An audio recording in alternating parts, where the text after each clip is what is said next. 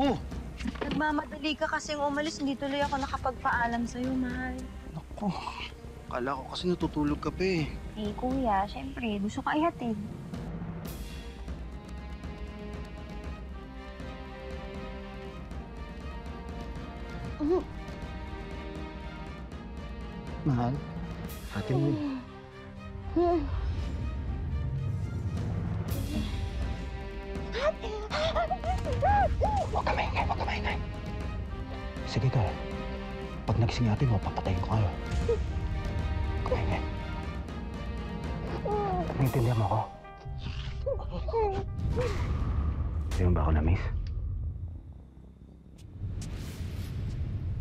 Anong ginagawa niyo?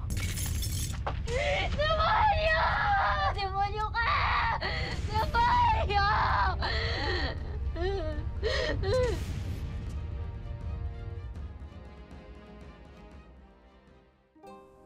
Itatago natin siya sa pangalang April, isang high school student na matataas ang grado, masipag na miyembro ng choir sa simbahan, mabuting anak at mapagmahal na kapatid sa kanyang ate. Pero masisira ang lahat ng kanyang pangarap at guguho ang kanyang mundo nang tuhugin silang magkapatid ng nag-iisa niyang bayaw. Kakayanin ba niyang lumaban? Na, mahal, nandito na tayo. Simula ngayon, ha? Dito na yung magiging bahay, bagong bahay niyo. Salamat, mahal. Ah, sorry, may audience nga pala tayo. Bunso, pasensya ka na. Ikaw ang nagdala ng gamit ko. Ano, okay ba sa'yo itong bago nating bahay? Mm-mm. Tsaka, ang maganda, mas malapit siya sa school ko, tsaka sa simbahan, bayaw, kaya at least di na ako malilate sa mga klase ko, tsaka sa choir practice. Pero, okay lang po ba sa inyo talaga, kahit na bagong kasal kayo? Ano ka ba? Huwag ka naman ganyan magsalita. Hindi ka naman ibang tao. Kapatid kita. At saka, ikaw ata ang paborito kong bunso. Oo naman. Ah, April, medyo... Pagpasensya mo na tong bahay ko, ha? Kasi medyo mali, tsaka walang ganong gamit, eh. Okay lang ba? Ito lang ba, bayaw? Siya, okay lang yan. Sanay na kami ni ate sa ganyan. Kuya ang itawag mo sa Kuya Jaime mo. Yun. Huwag nga bayaw. Kuya. Kuya. Ano? Ready ka na? Huwag ka maingay. Baka marinig tayo ni April. Ano ka ba? Tulog na yun. Oo. Ikaw gigising yun. Kung Oo na. Sige, sige. Mm. Ah, Mahal? ah. Mahal? Mahal? Ma'am! Mahal! Mahal! Mahal! April! Mahal! Mahal! Mahal! Mahal! Mahal! Mahal! April! Tumawag ka na tricycle! Bilis! Bilis! Bilis! Sige na! Mahal! Mahal! Meron siyang epilepsy. April, alam niyo ba to? Hindi, kuya. Hindi sana kung alam namin na may ganito si ate. Sinabi niya na yan sa'yo. Hindi naman pambihira na ngayon lang nang inatake ang asawa mo, sir. May mga case talaga na hindi agad lumalabas ang ah, kondisyon na ito. May butas din kasi ang ah, puso ni Jessica. Maaari niya itong kamatay.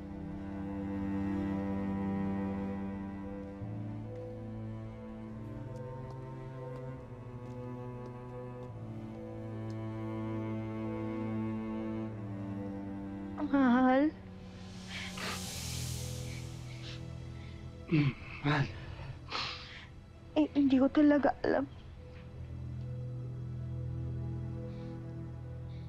Maintindihan ko kung gusto mo akong hiwalayan. Alam ko namang hindi kasama yung ganitong sitwasyon sa pagpapakasal natin. Mahal, hindi. Ah... wala ka naman kasalanan ba? Hindi ka naman kasalanan to. Ate. Ate, nandito lang kami, ah. Basta pangako ko sa inyong magkapatid. Hindi ko kayo pababayaan, ha?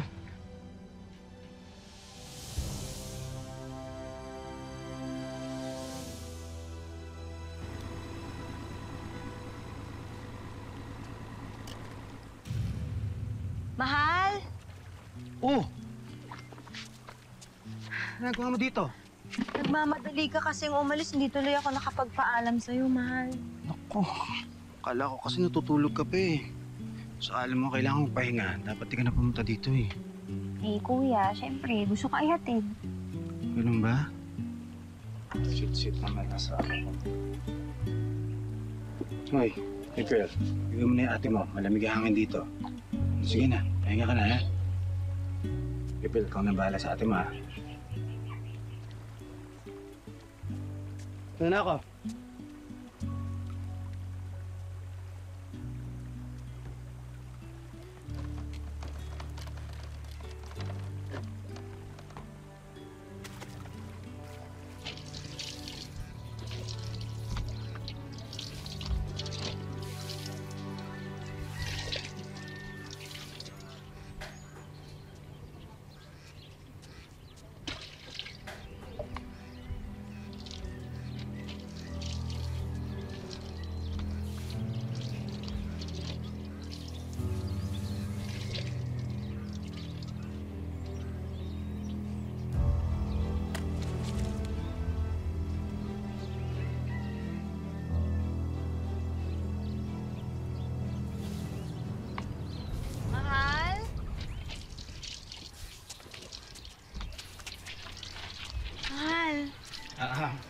Ah, jackpot tayo ngayon. Ang dami ng huli ko. Makakapag-tabi tayo para sa gamot mo, mahal. Hmm, pasok mo sa loob.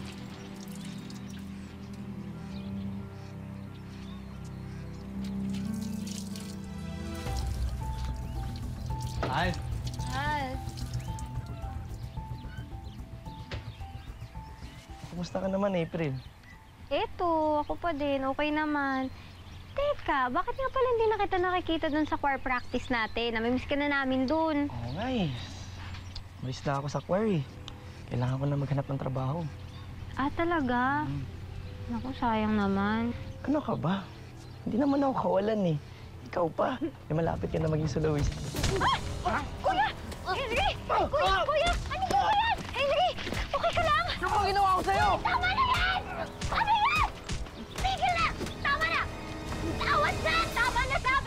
Bakit mo naman kasi sinaktan si Henry? Eh, kababata ni April yun. malay ko ba? Akala ko binabastos tong si April eh. Salamat. At ah, nagmamalasakit ka sa kapatid ko. Pero sana naman sa susunod, huwag ka naman padalos-dalos, ha? Tingnan mo nga yung itsura mo, oh. Pawis na pawis ka. Sandali nga, kukuha ko ng pamalit mo. Ah, kuya. Salamat ah. Alam ko naman na hindi yun yung intensyon mo, pero baka sa susunod pwede nating ilagay na lang sa lugar. Kasi wala naman talagang ginawa masama si Henry. Wala siyang kasalanan. Pagpasensya mo na ang kuya mo, ha? Akala ko talaga pinabastos ka eh. Hmm. Eh, alam mo namang gagawin ko lahat para sa'yo, di ba?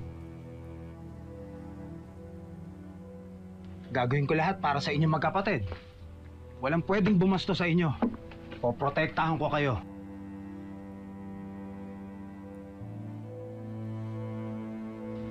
Um, ah, ito na ba yung pamalit ko?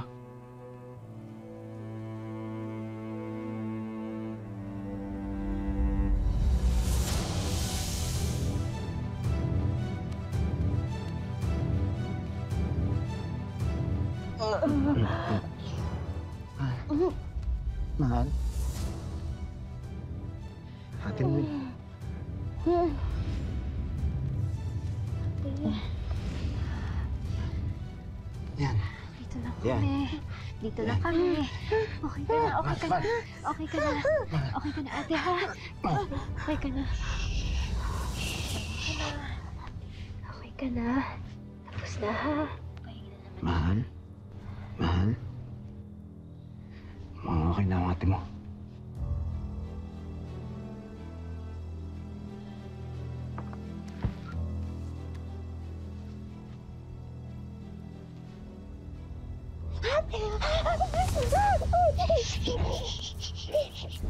Huwag ka maingay, huwag ka maingay. Sige ka. Pag nagising yung ate mo, papatayin ko kayo. Huwag ka maingay. Naintindihan mo ako?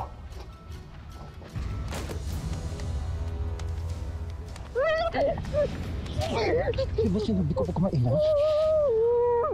Di ba sinabi ko huwag maingay? Ha?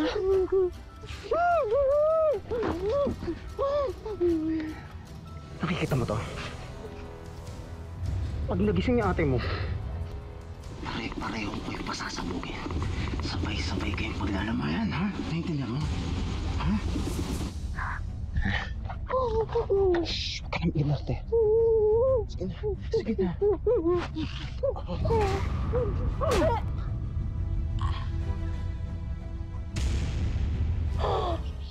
Pag-aakala ni April at ng kanyang ate Jessica na si Jaime ay perpektong asawa at bayaw. Pero ang totoong ugali niya ay unti-unting lalabas. Sa loob ng mismong bahay, pagsasabayan ni Jaime ang magkapatid habang wala silang kalaban-laban. Pasensya na kayo ha. Napuyat ko kayo kagabi. Wala yan, mahal. Buti nga't naka... Pahinga ka eh. Mahimbing tulog mo eh. Diba, April? April, Po. tatanong ate mo. Ah, Bakit ganyan ka? Parang tulala ka. Masama ba ang pakiramdam mo, ha?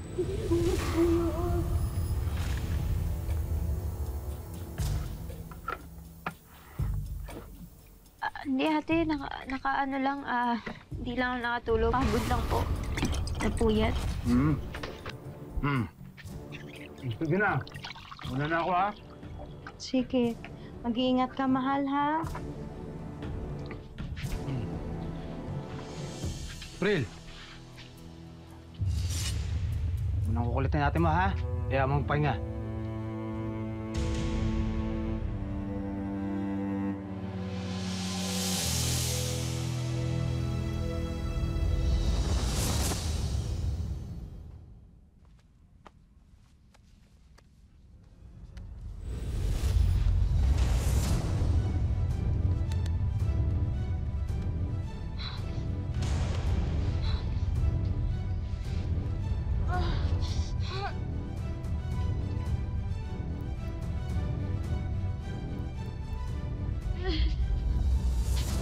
Oscar. Es que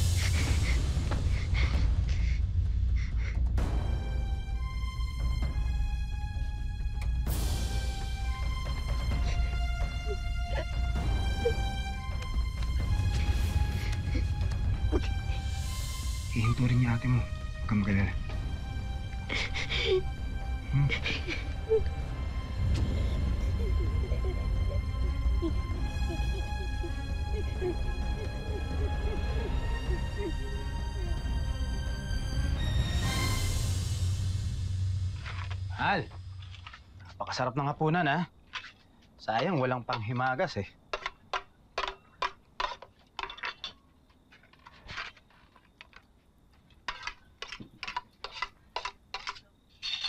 Ikaw na muna ang tumulong sa kuya mo, ha?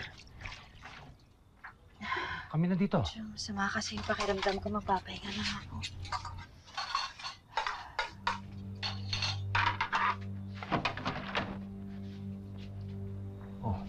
Hugas ka na daw.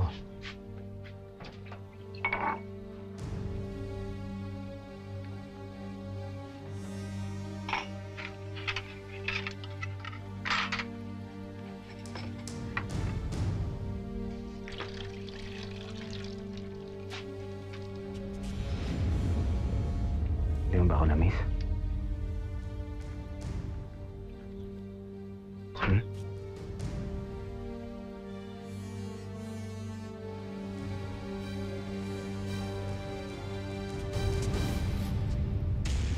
Ginagawa niyo? Anong kayo ba ng ginagawa niyo?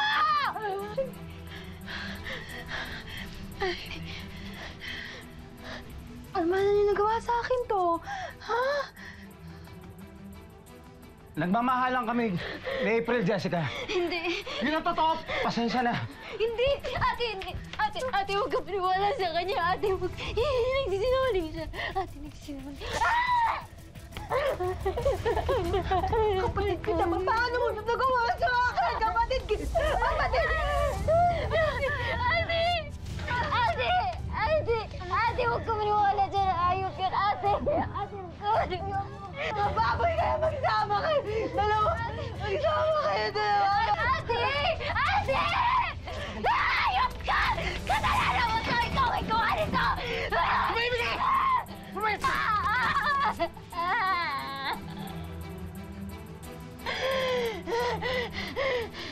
Akin ka na ngayon.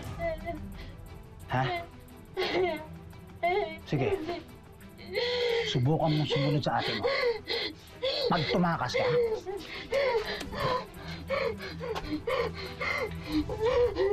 papasabugin ko ang bahay niyo. Uubusin ko ang lahi mo. Naiintindihan ko ba yan? Ha?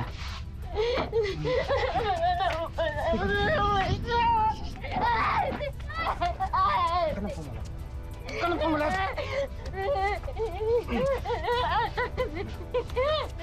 Pasok. Henry!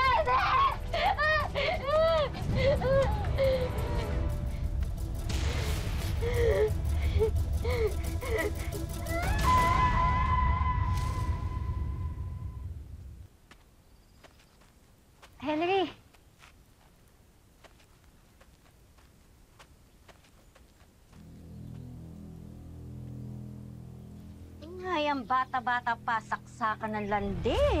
May sakit na nga yung kapatid. Inaagawan pa ng asawa. Walang kahihiyan. Parang akala mo uubusan ng lalaki. Henry! Saka ng landi. Inaagawan pa ng asawa.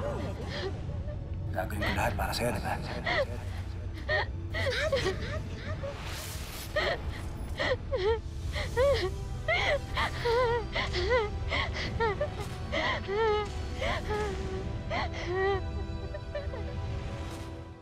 Sa pananakot ni Jaime, napapatayin niya ang buong pamilya ni April, pinwersa siyang sumama ng lalaki. Habang ang lahat ng tao, pati na ang kanyang sariling pamilya, ay masama naman ang tingin sa kanya. Ang paniwala ng lahat, inagaw niya raw ang mister ng kanyang kapatid na may sakit. Ang hindi nila alam, mala impyerno ang buhay niya sa piling ni Jaime.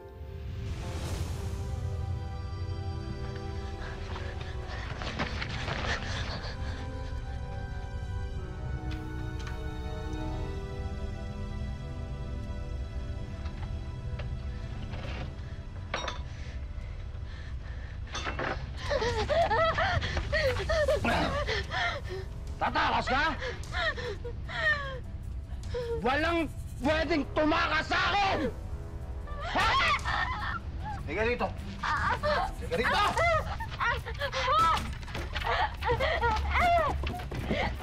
Ah!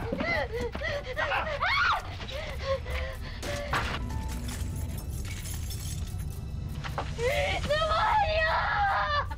Walang makakarinig sa'yo, ha? Hmm?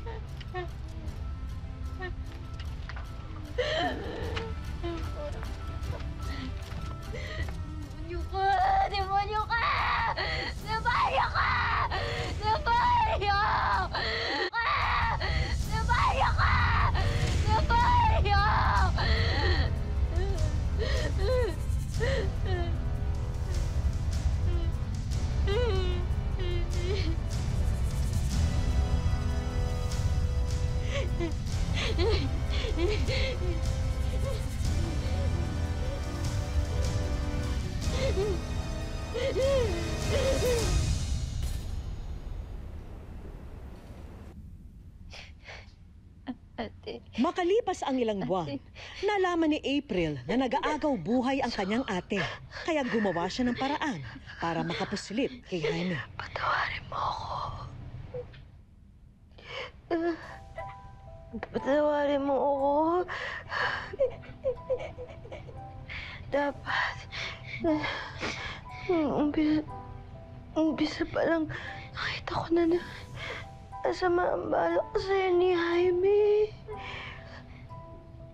Patawarin mo ako. Patawarin mo ako.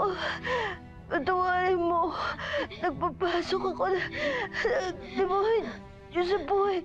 Buhay natin. Ate, ate, pinuntaan niya ako.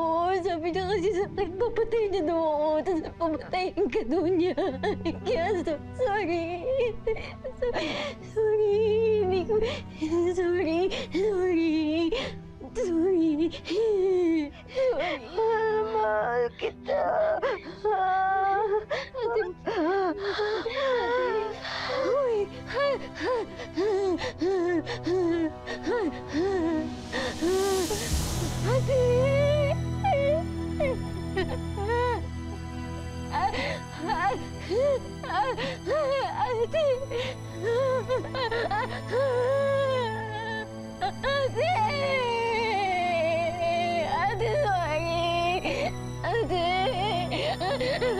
Saan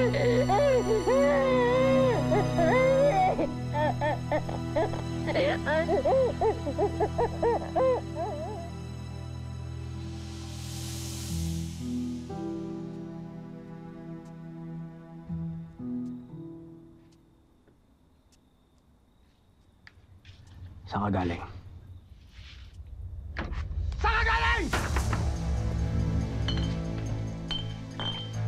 May pinuntaan ako sa labas. May pinuntahan sa labas o nang lalaki ka? Ha? Wala akong lalaki. Wala kang lalaki? Ako nga, wag mo ako pinag-ulo ko. Kung binibilog ulo ko, ha? Alam mo ba kung anong gagawin ko sa inyo pag nahuli ko kayo? Ha? Papatayin ko kayo!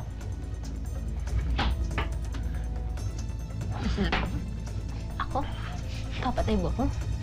Papatay mo ako! Hindi na. Hindi na kailangan dahil patay na si ate! Pataya ka na!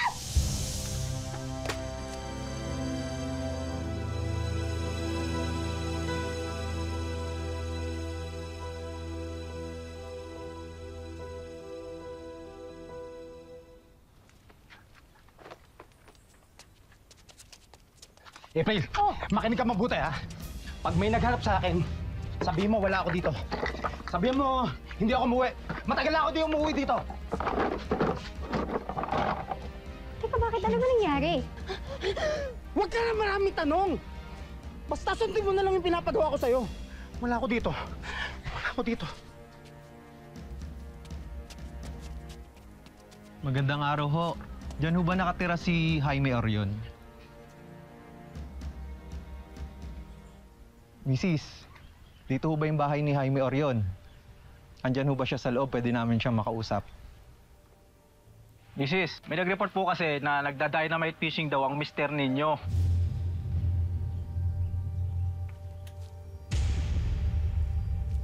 Sige ho, kung gusto niyo ho siyang makausap. Sige! Tutuluyan ko to!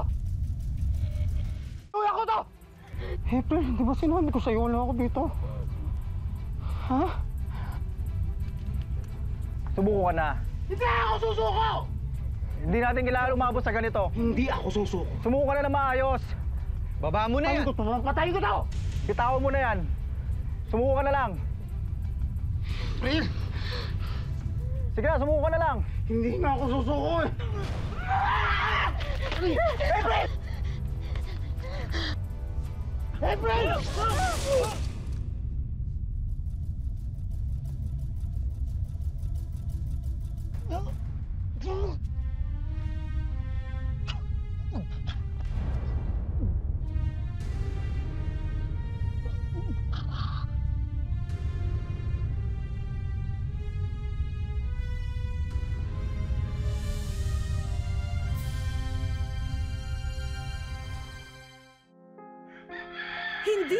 madali para kay April na tanggapin ang kanyang naging kapalaran. 22 anyos lamang ngayon si April at nagbunga ng supling ang kanyang naging bangungot. Na, nasaktan ako, parang gumuho yung mundo ko. Lahat ng pangarap ko, parang doon doon huminto. Tapos, parang pati, pati ano, dignidad ko nawala na. Pero sa paglipas ng araw, natuto rin siyang magpatawad. Bago mamatay si, si Jaime, nanghingi naman siya sa akin ng tawad. Ako naman, napatawad ko na siya kasi nga, tao nang, nang din naman tayo, nagkakasala. Nasa Dipolog City ngayon si April para maghanap ng trabaho. Nakikitira siya sa isa pa sa kanyang mga kapatid. Kailangan niya kasing magpursige para buhayin ang anak. Naawa ko sa kanya kasi ang bata-bata niya pa noon. Na, tapos nasayangan din ako kasi matalino siya eh. Sana makapagtapos ka sa pag-aaral para makuha mo na yung mga anak mo. Sa ngayon, tinitiis ni April na malayo sa kanyang mga anak. Tiniis ko na lang kahit, kahit mahirap na malayo sila sa akin, para sa kanila lahat naman ng, ng mga pangarap ko. Pero hindi siya nawawala ng pag-asa na darating ang araw na magsasama-sama silang mag-iina at magiging maayos din ang buhay nila.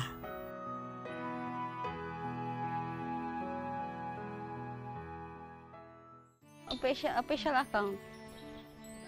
Pang, pang- Nanghiram lamang daw ng cellphone si April sa kanyang kapatid para magpadala ng mensahe sa Facebook page ng Wish Ko Lang. Kaya't dito na rin kami sasagot. Kamusta ka na, April? Nakarating sa amin ang PM mo rito sa Facebook at bilib kami sa pagiging matatag mo kahit matitindi ang mga dinanas mong pagsubok. Kaya naman nandito kami ngayon para bigyan katuparan ang iyong mga wish. Dahil April, ikaw ngayon ay nasa wish ko lang. Minsan uma, umaasa ako na na dumating sa sa time na ganito pero parang minsan din sabi ko malabo kasi nga ang layo ng Manila dito sa Dipolog City. Isinama namin sa isang lugar si April para sa aming mga sorpresa. At isang banda ang sumalubong sa kanya.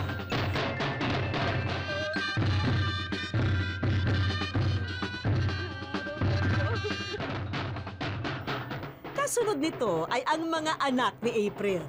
Kitang-kita ang pagkasabik ng magkapatid sa yakap ng kanilang ina. Masayang masaya ako ma'am.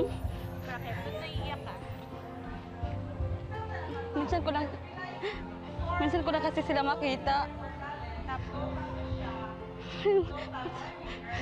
Speechless na. Wala akong masabi. Masaya na talaga ako.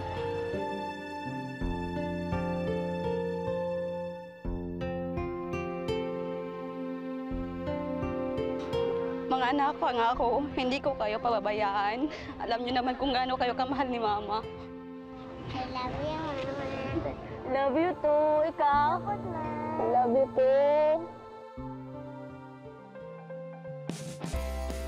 Ang isa sa pinakamalaking pangarap ni April ay makapagtapos ng pag-aaral. At nais po ng wish ko lang na maging instrumento sa pag-abot nito.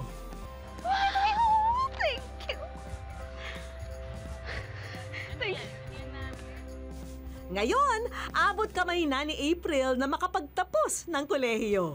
Gift of knowledge para sa four years course. Thank you. Napakalaki. Abang buhay ko tong pasalamatan. Kasi nga, malaking tulong to sa akin at sa pamilya ko, pati sa mga anak ko.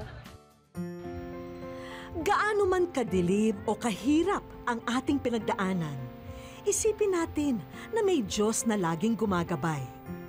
Kung hindi tayo sumusuko at lalo higit mabuti ang ating puso, liliwanag din ang dating madilim na daan.